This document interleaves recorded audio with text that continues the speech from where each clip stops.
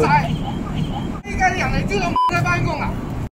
本身佢系六点钟话出粮嘅，我哋翻八点至收六点嘅，然之后六点就话出粮嘅。点知咧佢六点咧之后话个老细嚟紧，点知咧个老细迟迟都未嚟，咁我哋等到六点半咁样，我哋都系咁问佢啲打理啊，佢话哦佢嚟紧噶啦，咁好啦，咁我哋继续等，等到七点钟我哋顶唔顺啦，然之后咧佢哋 keep 住係咁耍手擰頭啊，係咁耍手擰頭話我哋哦我哋嚟緊啊嚟緊嚟緊嚟緊嚟緊，然之後到到依家。